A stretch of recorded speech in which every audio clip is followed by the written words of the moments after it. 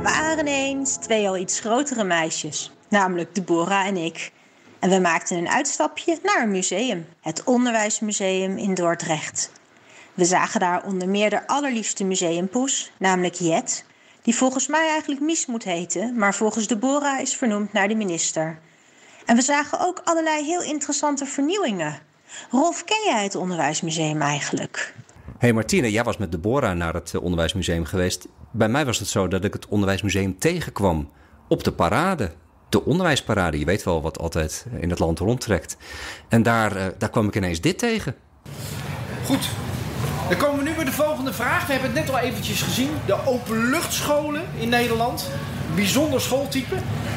Waar en wanneer werd de eerste openluchtschool van Nederland gesticht? Was dat blauw 1874 in Amsterdam of de rode kaart 1913 in Den Haag? Ja, laat die kaart maar zien. Blauw voor Amsterdam, rood voor Den Haag. 1913. Uh, ja, ik heb rood gekozen. En dan heb jij het goed, want het is inderdaad rood. 1913 in Den Haag. En je kon het ook wel op de foto zien. Want op die foto zie je ook kinderen in een duimpan in de buitenlucht les krijgen. In 1913 in Den Haag de eerste openluchtschool. Mooie school achter de duinen. Martine en ik waren nieuwsgierig geworden en we trokken naar het Onderwijsmuseum om met Thijs van Ruiten te praten. Hij is de directeur van het Onderwijsmuseum. En het werd een gesprek over data en data-analyse bij een museum. Ja, over oude dametjes en hoe die eigenlijk de beste bezoekers waren. We hebben het over logistieke modellen. We hebben het ook over hoe je een maatschappelijk relevant ja, bedrijf kan worden. En wat er gebeurd is sinds de tijden dat de subsidie gestopt zijn. Wie zijn de grote winnaars, wie zijn de grote verliezers in museumland? Het werd een boeiend gesprek met Thijs van Ruiten. We zijn hier in het Onderwijsmuseum met uh, Thijs van Ruiten, directeur van het Onderwijsmuseum. En uh, Thijs, wat heb jij met onderwijs? Uh, ja, Rolf, wat heb ik met onderwijs? Nou, in eerste instantie eigenlijk helemaal niks. In ieder geval vanuit mijn opvoeding niet. Uh, het zag er namelijk helemaal niet uit dat ik uh, bij een onderwijsmuseum uh, zou gaan werken. Dat ik bij een museum zou gaan werken, dat wel. Want dat wilde ik vroeger als jongetje al. Uh, mijn moeder heeft mij altijd uh, ook verteld dat ik als jongetje op mijn slaapkamer een museumpje speelde. Dan richtte ik mijn slaapkamertje in. En dan, en dan mocht ze, had ik mijn tentoonstelling af en dan mocht ze komen kijken. Ik kan me Voor zelf, dubbeltje, ja? Ja, daar kan ik mezelf niks meer van herinneren, maar dat schijn ik gedaan te hebben. Maar ik wilde ook dolgraag in een museum werken. Ik heb me destijds aangemeld bij de Ruimteacademie in Leiden. Ik ben daar subiet afgewezen omdat ik geen geschiedenis in mijn vakkenpakket had. Uh, en daarin zie je eigenlijk de rol, hoe belangrijk het is uh, dat onderwijs een hele belangrijke rol speelt in je leven. En dat je soms ook de verkeerde keuzes kan maken. Want ik heb destijds een keuze gemaakt niet verder te gaan met de geschiedenis, omdat ik een hele vervelende geschiedenisleraar had. Nou, dat heeft me bijna dus mijn gedroomde loopbaan gekost. Uiteindelijk ben ik wel op de Rijnwaardacademie terechtgekomen. Na twee dagen PABO, waar ik me toen had aangemeld, daar ben ik, heb ik twee dagen gezeten. En na twee dagen werd ik gebeld uit Leiden dat er nog plaatsen over waren om studenten op de Rijnwaardacademie aan te nemen. En ze hadden mij gevonden in de lijst van mensen die zich had aangemeld. En toen ben ik met onder het voorbehoud dat ik een jaar lang me zou bijspijkeren op geschiedenis, ben ik aangenomen op de Rijnwaardacademie. En zo ben ik eigenlijk bij het Onderwijsmuseum, ja, daar ben ik ingerold. Ik had mijn studie afgemaakt. Ik moest in, in dienst, in dit geval vervangende dienst, want ik ben erkend dienstweigeraar. Uh, en die vervangende dienst die mocht ik uitvoeren in een culturele instelling of een ziekenhuis. Uh, nou ja, ik had een museumopleiding, dus ik heb allerlei musea aangeschreven. Ik kom bij grote musea terecht, Van Gogh, Volkenkunde. Maar ik koos voor het kleinste museum wat, ik, wat mij wilde hebben. Dat was het Onderwijsmuseum, wat net geopend was in uh, 1982. Want ik dacht, daar kan ik uh, nog de uitdaging vinden. Die zijn net begonnen in Zoetermeer. En ja, zo is mijn loopbaan in het Onderwijsmuseum eigenlijk begonnen. En van iemand die eigenlijk niks van de geschiedenis van het onderwijs af uh, wist, ben ik nu 35 jaar later iemand die heel veel van de onderwijsgeschiedenis af weet. Het museum groeide en groeide en verhuisde naar Dordrecht. Ja, nou, het museum groeide en groeide. Uh, we hebben het net al even gehad over de tijd in Zoetermeer. Mm-hmm. Daar zat het museum op een fantastisch mooie plek. Hofstede Meerzicht. 17e eeuwse boerenhoeve. Prachtig gebouw, uh, gelegen in middle of nowhere. Uh, 20 minuten lopen vanaf het dichtstbijzijnde station. station Voorweg. Dus geen plek waar je als museumbezoeker denkt... hé, hey, daar ga ik nou eens een keer naartoe. Je moest daar echt een reis voor ondernemen. Dat betekent ook dat dat museum zo'n 4000 bezoekers per jaar trok. Dat is natuurlijk heel erg weinig. En uiteindelijk is het museum van Zoetermeer in de jaren 80, 1986, verhuisd naar Rotterdam. En eigenlijk is dit museum eigenlijk heel vaak verhuisd. Want zelfs als we nog verder teruggaan, dit museum, de collectie van dit museum is ontstaan in het, aan het eind van de 19e eeuw. En dit museum kent dus een geschiedenis van, uh, van vaak met, met sluiting bedreigd zijn. Omdat er om politieke redenen of redenen dan dat er geen bezoekers meer waren, uh, gedacht werd om dat museum op te heffen. Op het moment dat wij moesten verhuizen uit Rotterdam, uh, want toen is er voor ons ook heel veel veranderd, is dat wij uh, ons veel bewuster zijn geworden. Wij waren ons al bewust hè, van het feit dat, dat, je, dat je gedeeltelijk zelf je broek op moest houden en het feit dat je dat subsidie niet iets is wat er altijd is en dat er altijd een politieke beslissing kan zijn, of een ander soort beslissing, waardoor subsidie wegvalt. Mm -hmm. Ik kan er een heel aardig voorbeeld van geven. Wij hebben in de periode dat we in Rotterdam zaten, uh, ik denk dat dat in 2005 was, hebben wij een cursus voor allerlei musea bij ons in het gebouw gehad. En die ging over risicomanagement. En wij moesten daar een keer een opdracht uitvoeren, allemaal musea bij elkaar, docent. En wij moesten opschrijven wat risico's voor het museum waren. En iedereen kwam met risico's. Risico's voor de collectie, uh, vraat van uh, beestjes. Brand. Dus allemaal brand. Allemaal heel erg museaal gericht. En ik had opgeschreven het wegvallen van subsidie. Ja. En de docent die, die zei van, ja maar dat gebeurt toch niet? Dat is geen risico. Mm -hmm. Twee jaar later was, raakte ik al mijn subsidie kwijt. Hè? Mm -hmm. Dus je, je, zag gewoon in die tijd dat niemand daarop voorbereid was dat er zoiets überhaupt zou kunnen gebeuren. En bij andere musea is dat besef eigenlijk ook wel weer doorgedrongen? Je had het net ja. over die procentsregeling. Ja, dat besef is dus echt wel doorgedrongen. Er zijn echt musea die echt een hele omslag hebben gemaakt. Ik vind wel dat, je, dat, er, um, uh, dat er wel een verschil is opgetreden. Nu na uh, deze enorme bezuinigingsronde is een zijn er een aantal musea die buitenschots zijn gebleven. Die hebben in principe wel ingeleverd, maar de hele grote musea. Dan heb ik het over het Rijksmuseum, mm. dan heb ik het over uh, het Van Gogh Museum met heel veel bezoekers en ook heel veel middelen. Die zijn eigenlijk, ja, ik wil niet zeggen de dans ontsprongen, die hebben echt ook wel geld in moeten leveren, maar die zijn toch grotendeels buiten schot gebleven. Mm -hmm. Ook al om, om, omdat je ziet dat bij dat soort musea er ook nog eens vanuit de overheid enorm veel geïnvesteerd is in gebouwen. Ja. Dat is overigens een beweging die, uh, die veel musea uiteindelijk toch ook in problemen zal gaan brengen. Want uh, wij denken altijd dat, dat, uh, dat nieuw en vernieuwing, dat het betekent dat het ook groter moet zijn. Mm -hmm. Maar groter betekent bij veel musea ook duurder. Mm -hmm. En dat je uiteindelijk dus in problemen komt. doordat je het gebouw waar je zit eventueel niet meer kunt betalen. Aan de andere kant van het spectrum, en die zie ik als voorzitter van de musea in Zuid-Holland, zie ik die heel veel. We hebben 120 musea in Zuid-Holland, waarvan er een heel groot deel lid zijn van de VMZH. Dat zijn de hele kleine musea. -hmm. En die hebben tijdens die hele crisis geen schade opgelopen. Waarom niet? Ze hadden al niks. -hmm. En als je niks hebt, dan, dan, heb je, ja, dan heb je dat probleem ook niet. Het enige probleem waar die soms wel eens tegenaan uh, lopen, is dat gemeentes waarvan zij in een bepaald gebouw zaten, opeens iets meer geld wilden hebben voor het gebouw waar ze zaten. Ja. En dat kan een probleem opleveren, want als je niks hebt en je moet op een gegeven moment heel weinig betalen, is dat ook al een probleem. Is dat zo, ja. De musea die in de problemen zijn gekomen nu en waarvan de problemen nog niet voorbij zijn, dat zijn de middelgrote musea. Hmm. Eigenlijk een museum als het onderwijsmuseum, waar wij ook een beetje bij horen. Uh, grote belangrijke collecties, collecties die er echt toe doen, met een middelgrote organisatie en dus ook met een bepaalde, uh, uh, bepaalde subsidie, waarvan je dat museum ook kunt houden, maar die wel worstelen met het bezoekersaantal. Ja. Wat wat je omhoog probeert te krijgen, maar waarvan je heel eerlijk moet zijn. Uh, boven een bepaalde hoogte zal het niet komen. Zo eerlijk moet je ook zijn. En wie is jullie publiek eigenlijk? Nou, dat is in principe voor elk museum is dat weer verschillend. Hè? Natuurlijk probeer je eigenlijk als museum te kijken van... Ik, ja, ik probeer een zo breed mogelijk publiek. Dat roept uh -huh. iedereen altijd, zo breed mogelijk publiek aan te spreken. Ja, maar als het voor iedereen is, is het voor niemand, toch? Precies, want je moet ook... en uh, dat proberen wij bij het Onderwijsmuseum ook je moet ook je unieke positie proberen te maken. Zodat je eh, zeg maar een soort gemeenschapsgevoel creëert, waardoor een bepaalde groep mensen geïnteresseerd is in jouw museum. Ja. Nou, dat proberen wij bij het Onderwijsmuseum te doen door eh, heel sterk af te wisselen met bijvoorbeeld de grote tentoonstellingen die wij maken.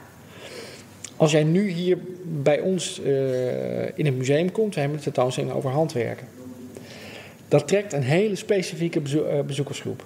Hè, we hebben onze vaste bezoekers, die komen, waar wij niet veel moeite voor hoeven te doen.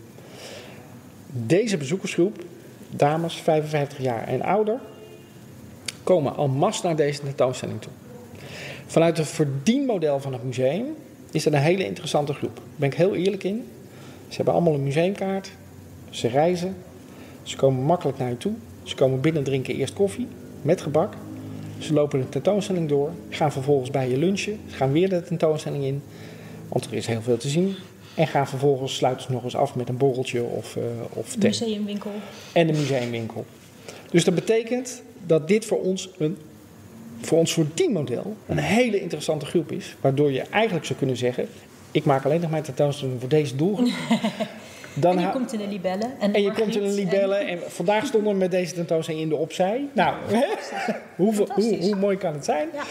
Ja. Eh, maar wij hebben toch ook, en dat is die maatschappelijke relevantie die wij belangrijk vinden, dat wij ook andere doelgroepen willen trekken, die in principe eh, voor het museum heel belangrijk zijn, die voor onze subsidiegevers in principe ook belangrijk zijn, die maatschappelijk heel relevant zijn. Dan heb ik het bijvoorbeeld over het onderwijs, school, eh PABO-studenten, eh, studenten, onderwijsassistenten, lerarenopleidingen die wij hier over de vloer willen hebben. Niet om ze alleen maar te vertellen over de geschiedenis van het onderwijs. Nee, maar om ze vooral mee te geven, want dat is de rode draad van ons verhaal wat wij hier vertellen. Hoe bijzonder ons Nederlandse onderwijssysteem is.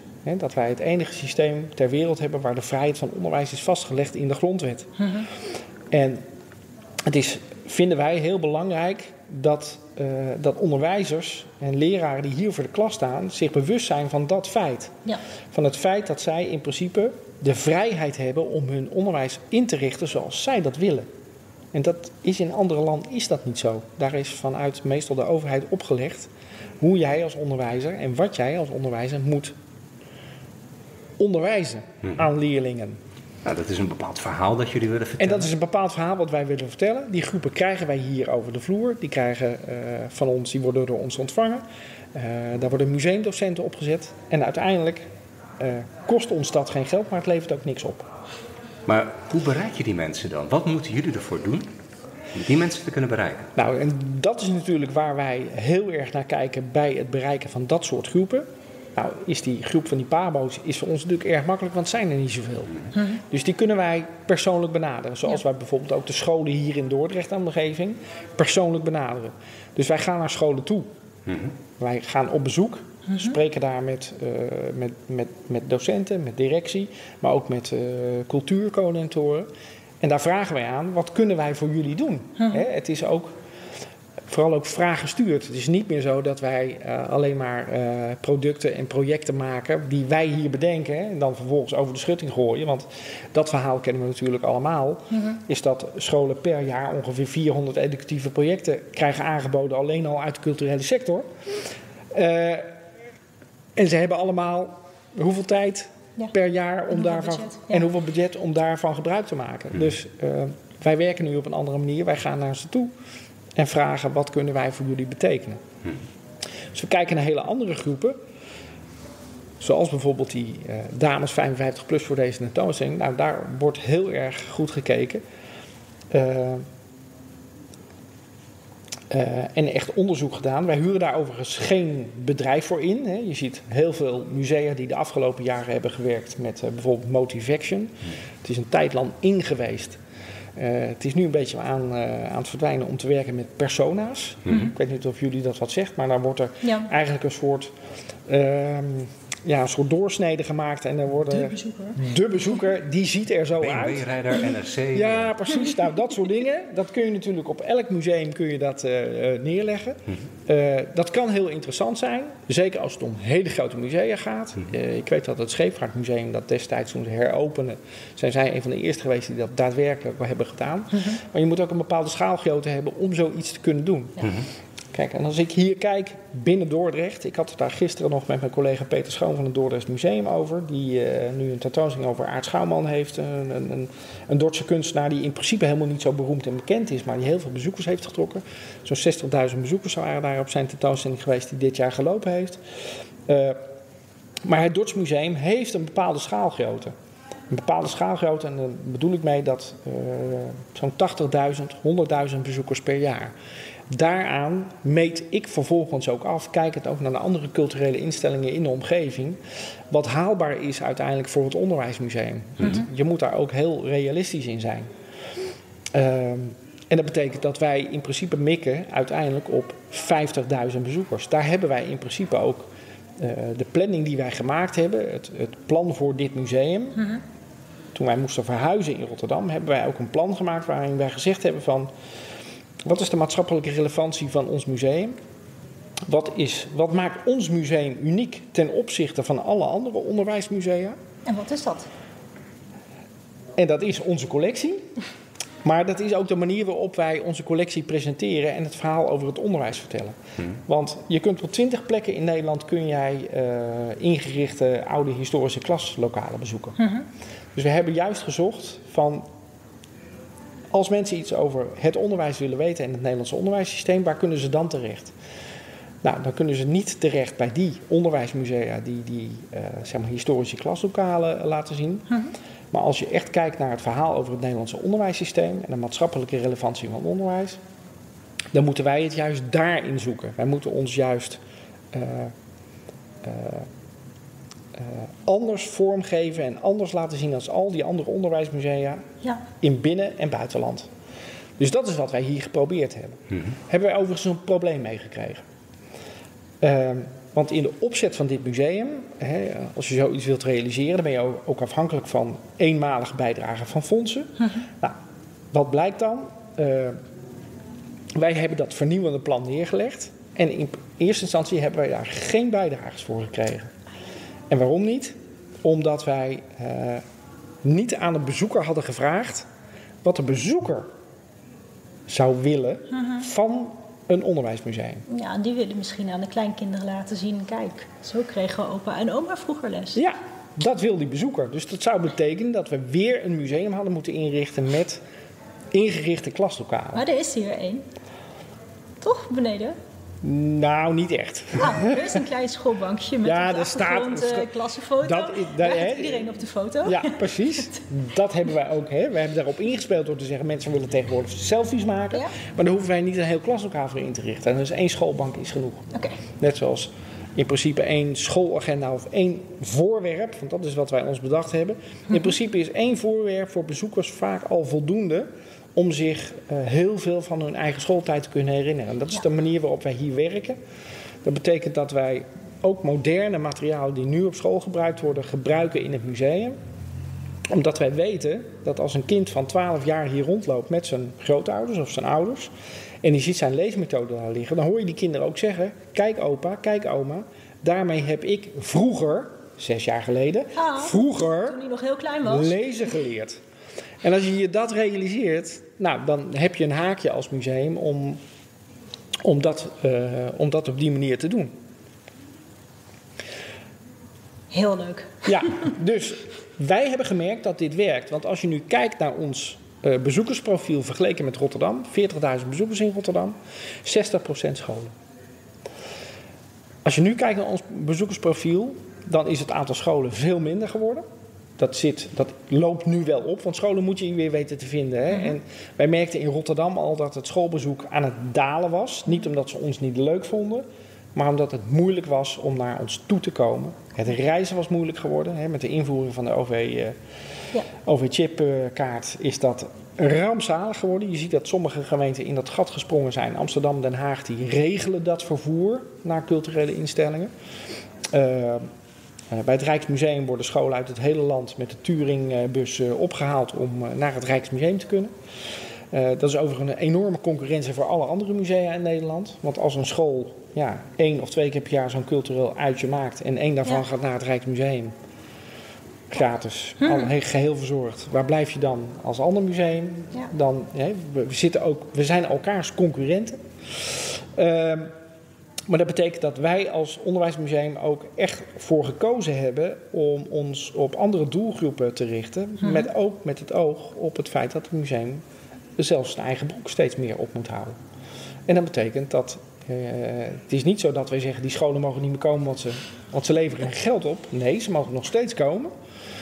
We hebben er wel voor gezorgd dat het break-even is. Dat Het levert niks op, maar het kost ook niks. Vroeger legden wij in Rotterdam daar geld bij. Want het was echt helemaal gratis. Tegenwoordig wordt er wel een vergoeding gevraagd om in ieder geval de kosten van de museumdocenten en, eh, en andere directe kosten te kunnen dragen. Maar je ziet dat ons bezoek nu heel erg veranderd is. In Rotterdam hadden wij 5% bezoekers met een museumkaart. Op dit moment is dat 50, 60 procent. Ja. Dus dat betekent dat de museumbezoeker, hè, het aantal mu- museumkaarten is ook wel toegenomen, maar niet zoveel. Eh, dus dat de museumbezoeker, de cultureel geïnteresseerde museumbezoeker, ons hier in Dordrecht ontdekt heeft. Heeft het gebouw daarmee te maken? De keuze voor dit gebouw is een keuze geweest eh, voor een gebouw wat eh, zoveel uitstraling heeft. En dat zie je bijvoorbeeld ook aan het museum De Fundatie in Zwolle, waar ze een raar ding op het dak gezet hebben. Wat als tentoonstellingsruimte, vind ik, onbruikbaar is. Maar wat wel eh, zo iconisch is, dat mensen speciaal daarvoor naar dat museum komen. Nou, dat heeft dit gebouw ook een beetje in zich. Het is een iconisch gebouw. En daarom zijn wij hier op deze plek gaan zitten. Ook natuurlijk vlakbij het station, zodat wij makkelijk bereikbaar zijn. En ook daar hebben wij gekeken qua marketing, ook binnen Dordrecht. Eh, hoe kunnen wij het best eh, van het bezoek aan Dordrecht profiteren dat ze naar het onderwijsmuseum toe komen? Daarom hebben wij andere openingstijden als eh, onze collega's van het Dordrecht Museum. Die gaan om 11 uur open, wij zijn om 9 uur open. Ja. Betekent dat veel bezoekers aan Dordrecht, die een dagje Dordrecht doen, ervoor kiezen om eerst hier naar het onderwijsmuseum te komen. Dat zien wij ook aan de bezoeken. Hè. Dat is het mooie van de museumkaart, dat je tegenwoordig kunt zien waar komen mensen vandaan, uit welke, welke tijdslots komen ze. En daar kunnen wij zien dat mensen er of voor kiezen om aan het begin of aan het eind van de dag. En die data mogen jullie delen? Het, die zijn geanonimiseerd, dus Ja. die mogen wij delen. En musea onderling, en dat is ook veranderd sinds, eh, sinds eh, zeg maar de, de grote bezuinigingsronde van de crisis. Want we hebben tegenwoordig Museana. En Museana, eh, dat is een, een platform waarin alle musea die daaraan meedoen, en steeds meer doen ermee, het zijn er inmiddels volgens mij bijna 200, die delen daar hun, hun gegevens. En dat zijn niet alleen bezoekersgegevens, maar ook financiële gegevens. Dat zijn gegevens over eh, hoeveel je verdient eh, in de horeca, hoeveel je verdient in eh, het museumcafé, wat betaal je aan gas, licht, water. Al dat soort gegevens, eh, met hoeveel vierkante meters je gebouw, hoe groot je collectie is, wat je daaraan besteedt, eh, hoeveel geef je uit aan marketing, hoeveel geef je uit aan educatie. Die gegevens die zijn allemaal, eh, zitten allemaal in Museana. Dat is nu sinds jaar 4, 5. En elk jaar in september, in april moet ik die gegevens aanleveren, want dan is je jaarrekening klaar. Dus dan vul je die enorme vragenlijsten in. In september komt dat beschikbaar. Dus ik zit op het mailtje te wachten dat ik de link weer kan openen. En daar kun je jezelf vergelijken met andere musea. Er wordt wel eens gezegd, data is de nieuwe olie. Wat doen jullie met die data? Hoe belangrijk is dat voor jullie? Nou, het is, eh, eh, het, het is belangrijk omdat je kijkt of je, of, of je bepaalde dingen goed doet of je bepaalde dingen slecht doet. Hè, Neem bijvoorbeeld een museumcafé. Het uitbaten van een museumcafé, daar eh, veel musea hebben dat om hun bezoekers. eh, ja, het is service aan de bezoeker om dat te doen. Vroeger had een museum gewoon een koffiepunt. kon je een bekertje indouwen en dan kwam er vieze koffie uit. Maar tegenwoordig is eh, het hebben van een, een goede horecavoorziening is een onderdeel van het bezoek. Ja. Een onderdeel van de belevenis. Nou, dan kun je twee kanten op. Eh, en daar is de museumwereld een beetje in verdeeld. Je hebt de musea die het outsourcen. Dat betekent Er wordt een pachter ingezet. Die draagt een gedeelte van, daar maak je een afspraak over, een gedeelte van de omzet draagt hij af. Ja. Eh, maar die is verder eigen baas en die runt dat helemaal. Zodat je er ook geen risico oploopt. Want je weet wat de inkomsten zijn, je krijgt een pachtopbrengst. Of je doet als museum, doe je het zelf. Dus dan doe je je eigen horeca. Dat betekent dat je zelf het risico loopt. Dat je ook eh, daar mensen voor in dienst moet nemen die dat doen. En dat is natuurlijk geen core business van een museum. Althans, museum Oude Stempel. Ja. Eh, want die hielden zich vooral bezig met onderzoek, eh, presentatie en collectie. Eh, nou, en wij zitten in die laatste groep die het dus voor eigen eh, risico eh, uitbaten. J- Bij jullie doen scholieren het toch? Of niet? Ja, en wij hebben daar dan, hè, waarom eh, kan het eh, onderwijsmuseum, want we hebben op dit moment, eh, dit jaar komen we denk ik ergens tussen de 33.000 en 35.000 bezoekers uit. Nou, als je met een, ik heb die gesprekken in het verleden wel eens gevoerd, als je met zo'n zo'n eh, museumketeraar gaat praten die dat voorjaar gaat doen, die weten dat pas bij 50.000 bezoekers kunnen zij er een businessmodel op loslaten en dan kan het. Dus eigenlijk kun je zeggen dat eh, als wij dit uit hadden willen besteden aan een museumketeraar, hadden we er ook geld bij moeten leggen. Ja. Hadden wij moeten zeggen, wij willen graag dat jij hier het museumcafé eh, komt doen en daar krijg je zelf wel geld voor. Ja. En wij doen het nu andersom. Eh, dus wij doen dat zelf. Maar dat is omdat wij binnen dit gebouw daar goed over nagedacht hebben. Hoe kunnen wij verder dit gebouw uitnutten? En dat betekent dat wij onze collectie buiten het gebouw hebben geplaatst. En dat was vroeger niet zo. Musea, depots waren altijd bij elkaar. Nou, dat is een hele omslag in je werk. Want dat betekent dat als wij nu naar een depot moeten, dan moeten wij naar een industrieterrein in Zwijndrecht of een industrieterrein eh, verderop bij de derde Dordtse Kil. Dat betekent dat je daar naartoe moet reizen. Ja. Maar dat betekent dat onze collectie, die enorm groot is, eh, nummer 6 van de Nederlandse musea, dat die wel op een goedkope plek is opgeslagen. Dus daar hebben wij al over nagedacht. Wat kost een depotruimte en wat kost de opslag van onze collectie? Dit is een AA-locatie. Ja. Als ik hier op deze eh, plek, eh, wat kost deze plek? Eh, wat is het? 95 euro per vierkante meter. Hè? Dit gebouw aan kosten. Als ik daar mijn collectie neerzet, dan ben ik dus eh, heel veel geld aan het uitgeven voor een, een dood stukje ruimte. Dus vandaar dat wij dit helemaal ontwikkeld hebben als een publieksgebouw. Alle ruimte hier op een kleine kantoorruimte, alle ruimte hier is publieksruimte. Publieksruimte die gebruikt wordt voor het publiek. En dat publiek, dat, dat kunnen tentoonstellingen zijn, maar dat kunnen ook bijeenkomsten zijn, dat kunnen tien dagen zijn van scholen. Eh, dat kunnen allerlei activiteiten zijn. En een van die activiteiten is dan ook die horeca die we zelf doen. En omdat wij een onderwijsmuseum zijn, hebben wij natuurlijk altijd dicht tegen het onderwijs aangezeten. En hebben wij bij onze komst in Rotterdam ook direct contact gelegd eh, met het MBO, Da Vinci, hier in, eh, in Dordrecht. En zijn wij ook wat dat betreft een beetje een lerend en een levend museum, omdat hier altijd studenten van het Da Vinci College werkzaam zijn. Enerzijds lopen ze stage, het kan op verschillende manieren, maar op dinsdagen is hier gewoon een hele klas van de opleiding facilitair en die krijgen hier gewoon les. Ja. Dus die loopt een docent bij en die zijn gewoon in het museum bezig met allerlei facilitaire dingen. Het vervangen van lampen, het schoonmaken, daar krijgen ze ook les in. Museumonderwijs in het onderwijs. Museumonderwijs in het onderwijsmuseum. Dus dat brengen wij op die manier ook een beetje in de praktijk. En zo doen wij dat ook met de horeca. Die wordt gedraaid door natuurlijk een vakkracht die inderdaad op de loonlijst van het museum staat. En daarnaast werken wij met vrijwilligers en met stagiairs. Beetje advocaat voor de duivel spelend. Ja.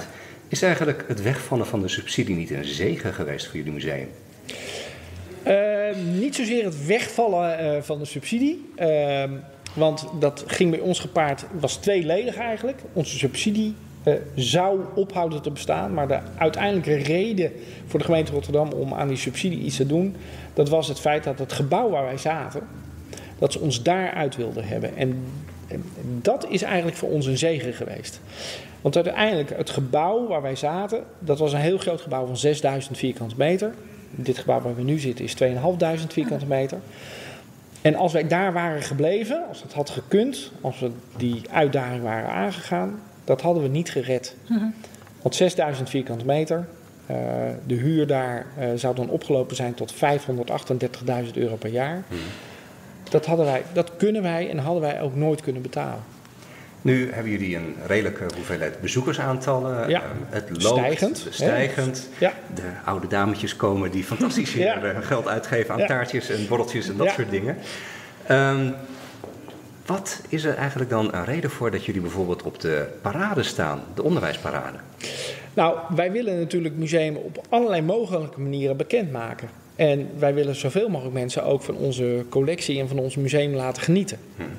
En dat betekent dat we dat op allerlei manieren doen. Door onze tentoonstelling rond te la- laten reizen, door die ook te verhuren.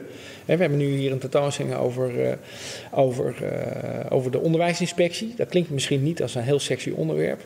Maar diezelfde tentoonstelling zul je over een aantal maanden in de hal van de Tweede Kamer in Den Haag kunnen zien staan. Waar ook duizenden mensen per week komen, die daar ook die tentoonstelling te zien krijgen. Wij vinden dat heel belangrijk dat het op die plek getoond kan worden. Ja, en waarom sta ik op de parade? Omdat eh, die onderwijsparade bedoeld was eh, voor het onderwijsveld. Dat is voor ons een hele belangrijke doelgroep. Hè? Want hoeveel mensen zijn er werkzaam in het Nederlands onderwijs? Dat zijn er eh, nou, 273.000. Dat zijn er heel veel.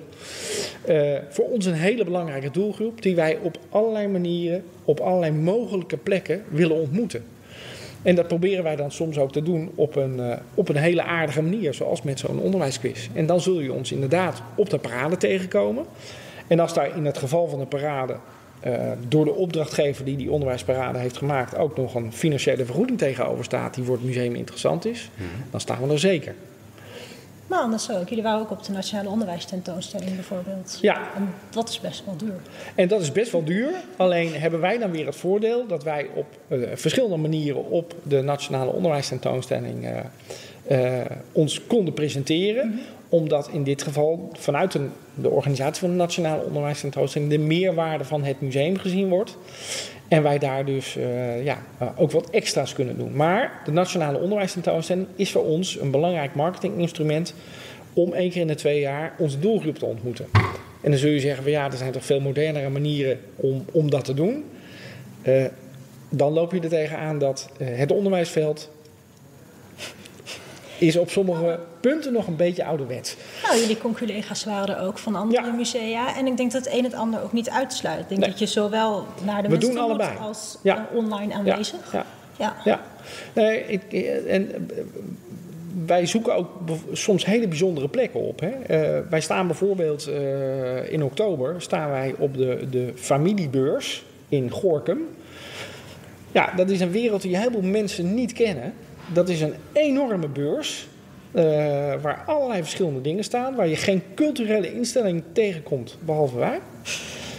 En dat is een, een beurs die georganiseerd wordt voor eh, het reformatorische volksdeel. Ah, oké.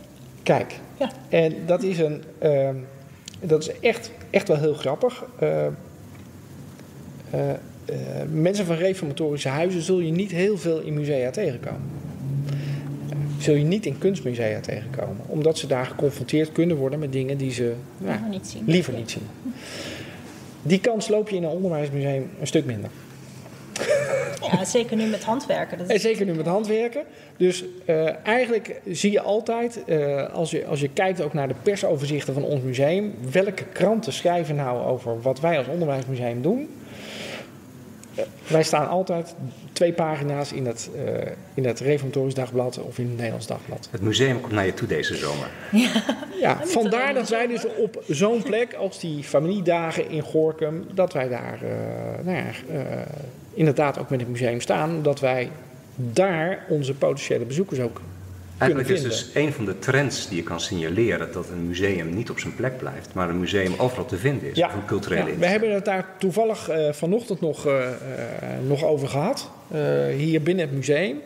Omdat eh, eh, wij ontvangen hier steeds meer scholen. Nou ja, we hebben het er net al even over gehad. Het vervoer, de afstand. Het is een probleem. Dus wij gaan nu ook onderzoeken of wij op een andere plek in Nederland... ik wil niet zeggen een heel satellietmuseum neer gaan zetten... maar in ieder geval wel een plek kunnen maken... waar scholen naartoe kunnen komen om kennis te maken met dat verhaal over het Nederlandse onderwijssysteem. En waar wij dus als musea, mu- als onderwijsmuseum hen kunnen ontvangen. En dat willen we misschien doen in samenwerking met een, ander, eh, een van onze andere eh, collega-musea in Nederland. Dat is iets wat wij nu gaan onderzoeken. Want wat wij nu al doen, is naast dat wij scholen hier laten komen, eh, gaan we heel veel naar scholen toe. Want eh, dat is voor scholen vaak dan wel de oplossing. Dat wij eh, als mu- museummedewerkers of eh, als museumdocent afreizen naar Friesland of ergens in de Achterhoek of in Limburg. Om daar de hele dag op school museumlessen te geven. Nou, dat willen we nu ondervangen door op een andere plek eigenlijk een soort klein satellietmuseum te maken. Waar die scholen nog makkelijker naartoe kunnen komen. Om toch een stukje van die museumbeleving te kunnen krijgen. Ja, want het is niet mogelijk om heel veel voorwerpen steeds mee te slepen naar zo'n school. Dat probeer je altijd wel. Eh, maar je hebt gelijk als je zegt, wij proberen als museum ook steeds meer buiten de muren van het museum, proberen wij ons te man- manifesteren. Hè, wij, eh, een van de dingen die wij ook eerst onderzocht hebben, op het moment dat wij in Rotterdam eh, de beslissing hadden genomen, we gaan weg uit Rotterdam, we gaan weg uit het gebouw waar wij zitten. Toen hebben we ook nog onderzocht van, eerst nog gekeken van, wat is nou het bestaansrecht van dit museum? Moet er wel een nieuw Nationaal Onderwijsmuseum komen als gebouw? Of moeten wij verder als virtueel museum? Dus wel een collectie die opgeslagen is. Maar waarom zouden we nog een, een, een presentatiegebouw hebben? Waar we tentoonstellingen maken, waar we mensen ontvangen, waar we een café hebben, waar we een winkel hebben. Moeten we dat niet allemaal virtueel gaan doen? En moeten we niet alleen maar tentoonstellingen maken die op andere plekken te zien zijn? En de volgende vraag is natuurlijk, waarom niet? Waarom? Waarom, is dit, waarom zitten we hier? Waarom zitten we in het prachtige gebouw en Ja. zitten we niet ergens leuk, Ja. net als de hele jeugd, op mobieltjes te kijken? Ja, precies. Nou, uiteindelijk is die beslissing toch gevallen op zeg maar een, een presentatiegebouw, omdat je ook zoveel mogelijk eh, van die collectie van het museum toch wilt laten zien. En dat kun je toch het beste doen als je een bepaalde vaste plek hebt. En daar komt ook nog eens bij dat eh, eh, het museumbezoek is, is groeiend. We leven, we leven wel in een virtuele samenleving waarbij inderdaad iedereen op zijn mobieltje zit te kijken. Maar er zit nog steeds groei in dat museumbezoek. Dus de potentie om hier een museum te ontwikkelen wat voldoende eh, relevantie had op het gebied van, eh, nou ja, van bezoekers, die was er absoluut wel. Vandaar dat we toch hebben gekozen om naar een nieuwe plek te gaan, maar eh, wel de helft kleiner. Hè? Kleinere organisatie, kleiner gebouw, waarvan wij zelf het idee hebben, als we het zo gaan doen en zo gaan vormgeven, kunnen wij het hoofd boven water houden. En dat is Weet, goed. weet wie je bent, weet wie je publiek is. Eh, ga ook naar het publiek toe, zelfs letterlijk af en Ja. toe. Eh, kijk naar data. Data is belangrijk voor jullie. Ja, zeer. Eh, ga gewoon ook op onverwachte plekken zijn waar je nieuw publiek leert kennen. Ja. Ga interactie met ze. Is er nog iets anders dat je aan andere musea zou willen meegeven om ook de succesfactoren die jullie gehad hebben te kunnen meenemen? Ehm, ja, dat, dat, dat vind ik heel erg moeilijk, omdat elk museum, hè, daar hebben we het eerder over gehad, elk museum is uniek. En wat ik andere musea altijd wil meegeven is, ga op zoek naar datgene wat jou uniek maakt. Ik zie te veel musea in Nederland, en ook in het buitenland, die te veel op elkaar lijken. En als je te veel op elkaar lijkt, als je niet de authenticiteit in jezelf kunt vinden en niet uniek kunt zijn, niet dat unieke haakje kunt vinden waarmee jij een bepaalde, eh, bepaald gemeenschapsgevoel kunt maken of mensen aan je kunt binden, dan heeft het op een gegeven moment, denk ik, ook geen zin meer. En dan zie je ook gebeuren dat er musea verdwijnen. En ik denk dat dat op zich ook helemaal niet erg is als een museum verdwijnt. Ik heb nog één vraag. Dat is een zin die je mag afmaken. Er was eens een meisje in een museum. Dat is lastig. Er was eens een meisje in een museum. En die bedacht na het bezoek dat ze daar best wel eens later zou willen werken. Oké, dankjewel Thijs. Prachtig. Graag gedaan. Dankjewel. Het was een heel interessant en gezellig gesprek. En ik ben er ook achter gekomen dat Deborah gelijk had. Poesjet, die is vernoemd naar Jet Bussemaker, minister van Onderwijs, Cultuur en Wetenschap in het kabinet Rutte 2. En weet je dat ik Thijs ook nog mijn vragen gesteld heb, Rolf? Misschien wil je ze horen? Dat is een goede vraag. Martine, die ga jij vragen. Ja. Wat is hier in het museum nou je favoriete plek? Ja, nou, dat, dat vind ik best wel lastig. eh, omdat dit gebouw heb ik ook helemaal zelf gekozen. Eh, dus mijn favoriete plek... Ja, het is eigenlijk hierboven op de beletage. We hebben een hele mooie zaal boven eh, de commissarissenkamer... die helemaal rondom licht geeft. Dat vindt iedereen eigenlijk de mooiste ruimte die hier is. Maar wat ik hier nou het meest bijzondere vind... is dat als je hier op deze vloer staat... je eigenlijk het hele museum kan overzien. En eh, dat vind ik eigenlijk heel erg bijzonder, omdat je dat eigenlijk in geen enkel museum eh, heb je dat. Dat je, dat je de hele ruimte kunt overzien en dat je denkt van, nou ja, dit ga ik nu zo bekijken. Misschien sta ik over een half uurtje weer buiten.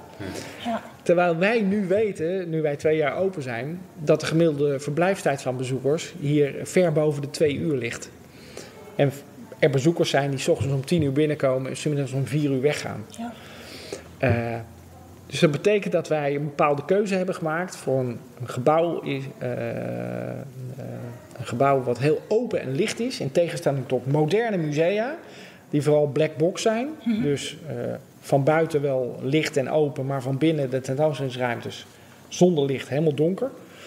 Eh, dus ja, de mooiste plek, dat is toch gewoon hier als je bij de ingang binnenkomt. En wie heeft het gebouw ontworpen? Nou, het is ook nog eens een keer een architectuurmonument. Eh, en dat is natuurlijk wel grappig, want als je, nou- hè, we zijn het gesprek begonnen met de vraag van wat heb je met onderwijs? Nou ja, ik heb niks met onderwijs, maar heb ik nou verder wel interesses en hobby's? Ja, maar interesses en hobby's die liggen op een heel ander vlak. Die liggen namelijk op eh, het gebied van architectuur. Ik ben heel erg geïnteresseerd in architectuur. Ik heb ook mijn, eigen huis eh, ooit gebouwd. Dus daar weet ik ook best wel veel van af. Ik ga ook in het buitenland eh, hele bijzondere gebouwen bezoeken. En ik kende dit gebouw. Want dat is van architect Siebold van Ravenstein.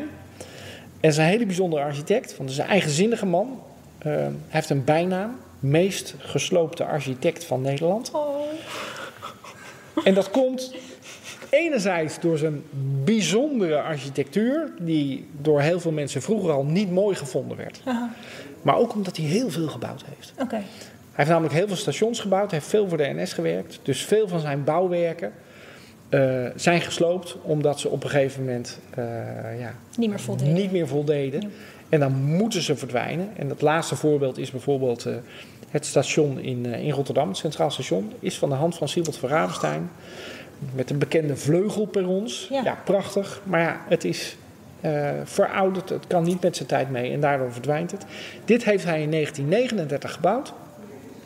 Voor een verzekeringsmaatschappij. Was een van de eerste gebouwen in Nederland die als kantoortuin is eh, gemaakt. Hier zaten dus zo'n 300 medewerkers van een verzekeringsmaatschappij. Typistes, administratieve medewerkers, al die polissen te maken in één grote ruimte. En eh, dat is het mooie aan dit gebouw, dat hebben wij helemaal kunnen handhaven. En wat wel een leuke anekdote is, is dat dit gebouw bijna gesloopt was. In de jaren 80 is het gekocht door Albert Heijn, die hier op deze plek een supermarkt wilde neerzetten. En eh, de burgers van Dordrecht, die toch op een of andere manier verknocht waren geraakt aan dit gebouw, die hebben dat voorkomen op het laatste moment. Albert Heijn heeft het laten staan. Die heeft wel het complete interieur eruit gesloopt. Het interieur was heel bijzonder. Met marmer en lambriseringen en het zag er prachtig uit. Maar dat heeft het voor het museum wel mogelijk gemaakt om ons onze eigen invulling daaraan te geven. Dus een heel bijzonder gebouw. Ooit supermarkt geweest. En nu weer eigenlijk in oude staat teruggebracht. Zo, dat was het. Volg ons op Facebook, Cultuurverkopers. Op Twitter, Cultuurverkoper, zonder S. En we gaan ook een Insta maken, Cultuurverkopers. Hey, tot de volgende keer. Groetjes van Martien ook.